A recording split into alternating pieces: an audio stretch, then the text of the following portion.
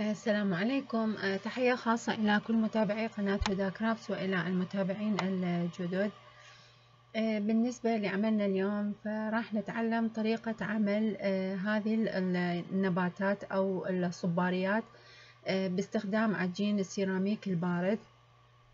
وهذا الفيديو راح يكون هو الجزء الأول. بهذا الجزء راح نتعلم طريقة عمل النباتات وبالجزء الثاني راح نتعلم طريقة عمل يعني القاعدة أو العلبة آه، اللي راح آه، يعني نستخدمها للحصول على هذه الأشكال. فالآن يعني الخطوة الأولى هو مثل ما ذكرت راح نتعلم طريقة عمل هذه النباتات. فالآن نبدأ بطريقة العمل والمواد اللي راح نحتاجها لهذا العمل.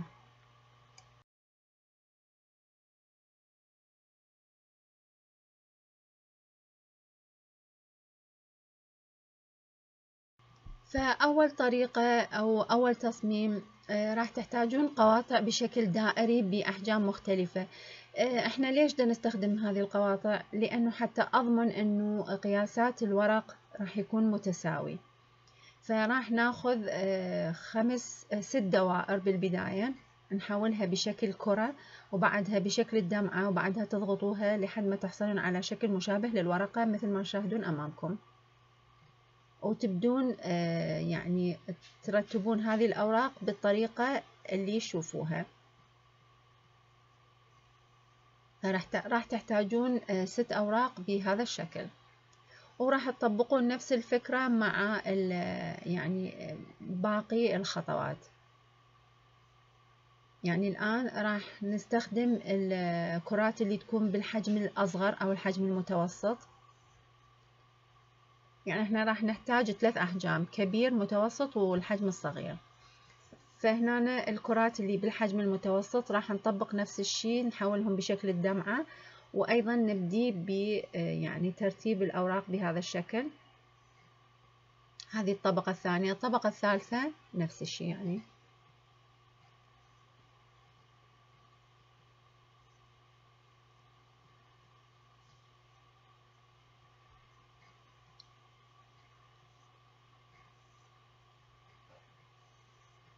الخطوة اللي بعدها راح أستخدم ألوان تشوك باستل اللي ما متوفر عندها ممكن تستخدم ألوان الطباشير. آه، ممكن تستخدمون ظلال العيون. وتطبقون نفس الفكرة بأنه آه، تلونون فقط الحافة حافة الورقة بهذا الشكل. ممكن بهذه الطريقة وممكن أنه تتركون هذه القطعة لحد ما تنشف تماما. وبعدها تستخدمون ألوان الأكريليك وتحاولون تلونون الحواف بهذه الطريقة. وهذه نفسها اللي يعني هذه النبتة ممكن تلاحظون أكثر من لون يعني تستخدمون أكثر من لون فتحصلون على يعني هو نفس التصميم أو نفس الطريقة لكن بسبب اختلاف الألوان راح تحصلون على أكثر من شكل. الآن راح أترك هذه القطعة لحد ما تنشف بهذه الطريقة. هنا طريقة ثانية حتى أغير الألوان بديت أخلط اللون الأخضر مع لون أزرق فحصلت على هذا اللون. وراح أطبق نفس الفكرة الأولى لكن الفرق راح يكون إنه طريقة يعني تشكيل هذه النبتة راح يكون بالشكل المعاكس وراح تشوفون الطريقة.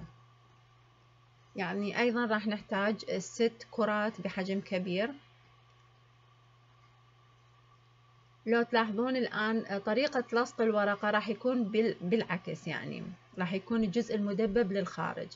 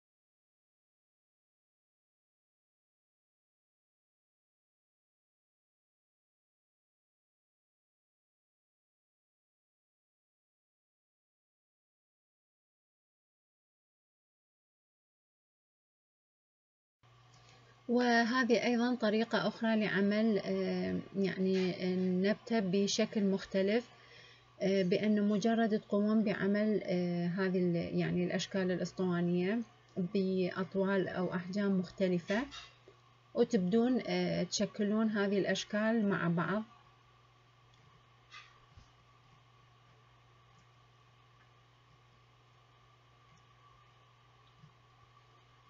يعني شغلة بسيطة وفكرتها بسيطة. آه، بعدها راح تلاحظ يعني راح نشوف إنه بالتلوين وبعد ما نشكلهم مع بعض راح ينطونا شكل آه، يعني حلو. فهذه القطعة ممكن بهذا الشكل ممكن تعملوها بحجم أكبر.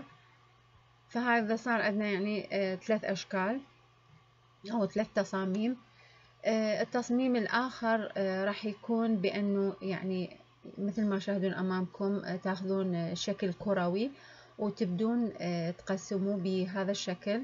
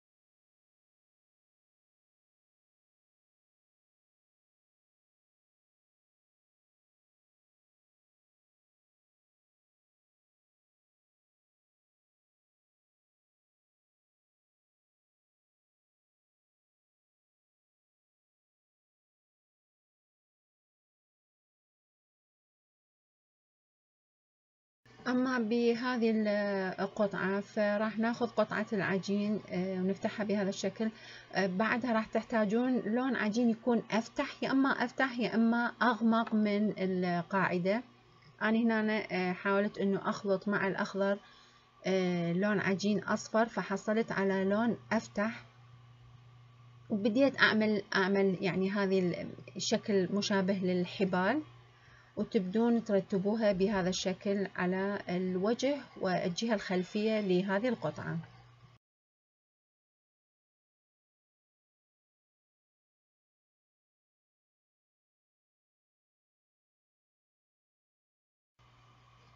فالآن راح أحاول أنه أفتحها يعني آه، بدرجة خفيفة أو ممكن تستخدمون آه، ورق الطباعة العادي. بهذه الطريقة بحيث نحصل على سطح أملس وتختفي كل هذه الخطوط. يعني المفروض أنه تصبح قطعة واحدة. آه، الخطوة الأخرى هو أنه تقومون بتقطيع هذه يعني هذه القطعة العجين آه، باستخدام المقص بهذا الشكل.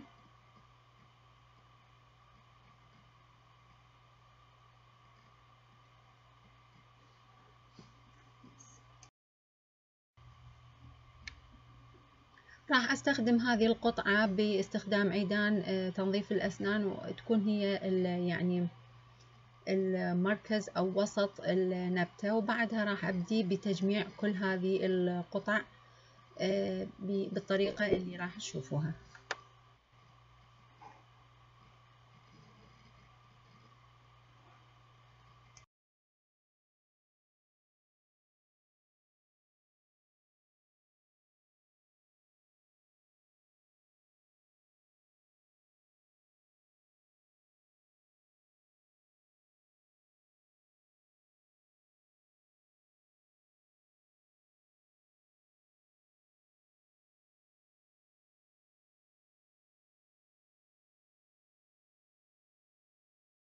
فمثل ما تلاحظون راح أستمر بتجميع يعني كل هذه ال ممكن نعتبرها يعني أوراق هذه النبتة.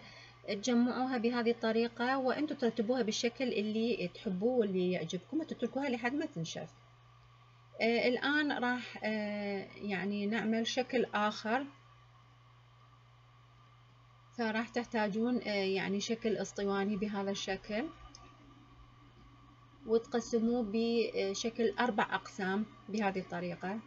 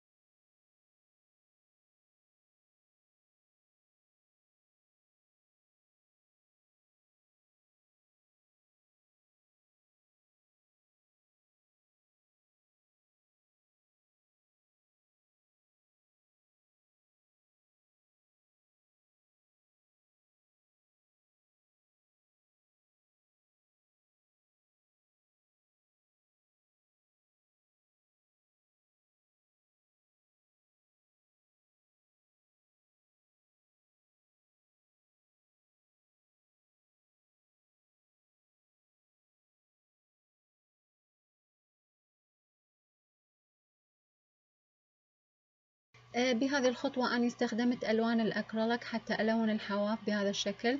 ممكن أنتوا تستخدمون تشوك باستيل أو ممكن تستخدمون ظلال العيون أو ممكن تستخدمون الطباشير بهذه الطريقة. آه، بهذه الخطوة آه، راح تحتاجون أي فرشة يعني تكون بهذا الشكل حتى نحصل على الأشواك اللي تكون موجودة على نبات نباتات الصباريات. فتاخذون هذه ال ال هذه الأجزاء أو هذه الشعيرات اللي تكون موجودة على الفرشة وتستخدموها بهذه الطريقة. فهنا أنا راح أكمل يعني أملي كل هذه النبتة بالأشواك من كل هذه الجهات.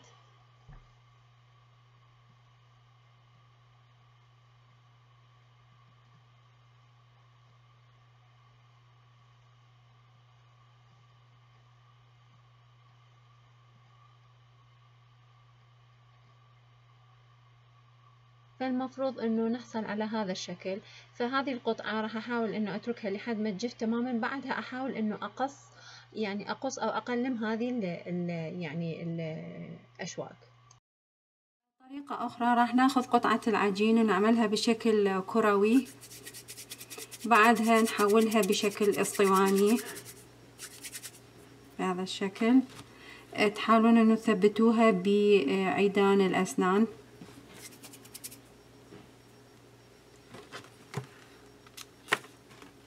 وراح نبدي نقصها بهذا الشكل.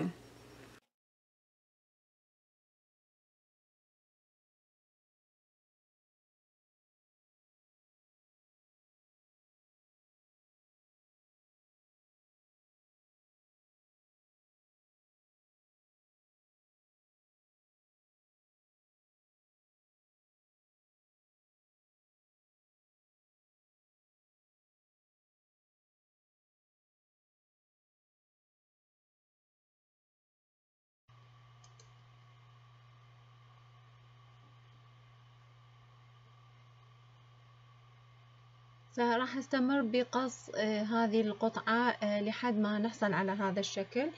فالمفروض إنه أتركها لحد ما تنشف بعدها أحاول إنه ألونها راح تشوفون الطريقة. وهذه هي يعني التصميم أو الطريقة الأخيرة أو القطعة الأخيرة. أيضا راح تأخذون قطعة من العجين وتحاولون أنه تثبتون هذه القطعة بعيدان الأسنان بهذا الشكل.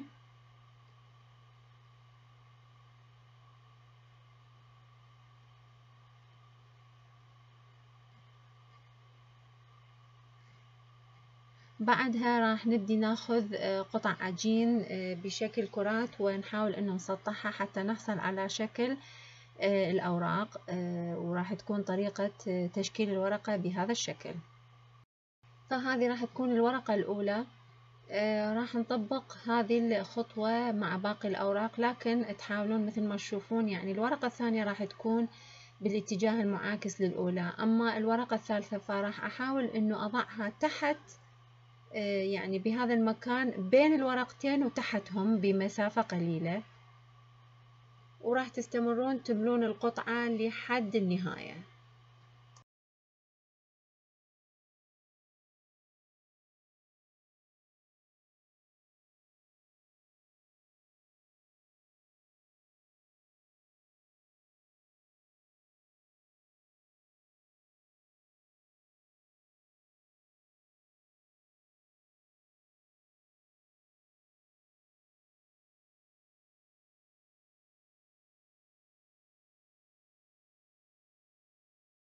فالمفروض يعني تصبح بهذا الشكل آه، والمفروض إنه أملي يعني الباقي الساق بالأوراق لحد النهاية. وراح أيضا أتركها لحد ما تنشف وبعدها الونها فهذه القطع بعد ما تركتها لحد ما تنشف ممكن يعني تضيفوا لها إضافات.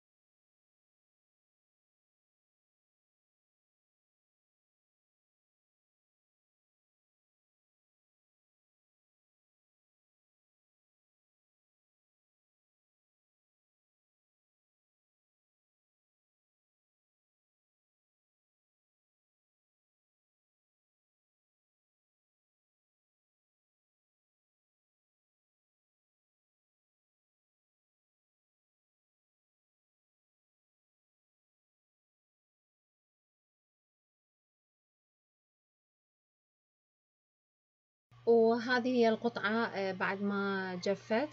فتلاحظون طريقة تلوينها إنه أحاول فقط يعني ألون آه، حافة الورقة بهذه الطريقة.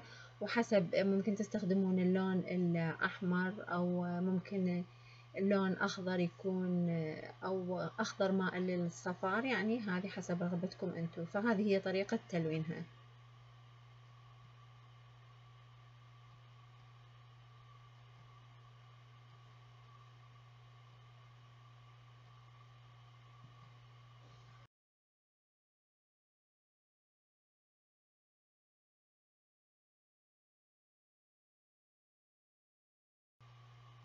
أما بالنسبة لهذه القطعة فتلاحظون طريقة تلوين هو بأنه يعني آه، ناخذ فرشة يعني نستخدم كمية قليلة جدا من الألوان ويعني بحركة خفيفة أيضا أحاول أنه ألونها بهذا الشكل.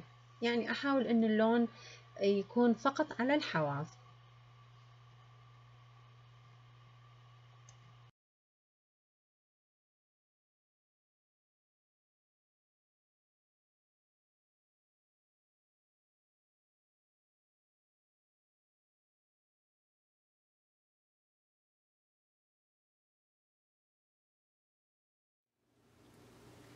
فهذه يعني تقريبا هي كل هذه القطع. آه، اللي راح أسوي راح أحاول إنه أغطيها بطبقة من ال varnish وأرجع لكم.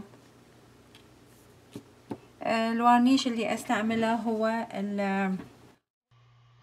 Minwax Polycrylic اللي هو water based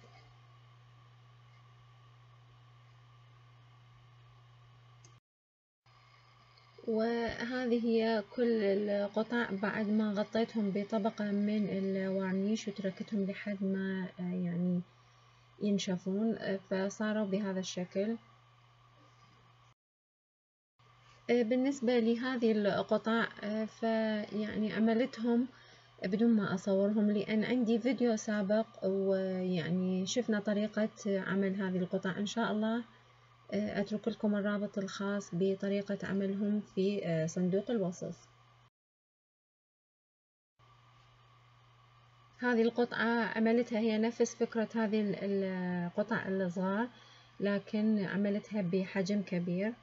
فيعني هي الفكرة واحدة لكن مجرد إنه أنتوا تغيرون بالحجم آه، تغيرون بالألوان راح تحصلون على أشكال مختلفة.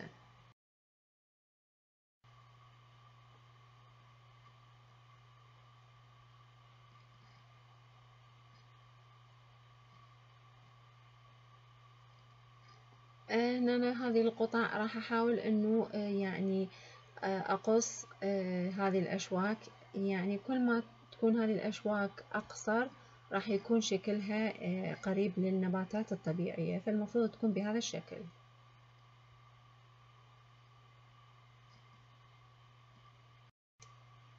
وبالنسبة لهذه القطعة فعندي فيديو سابق وبالتفصيل لطريقة عمل كل هذه النباتات.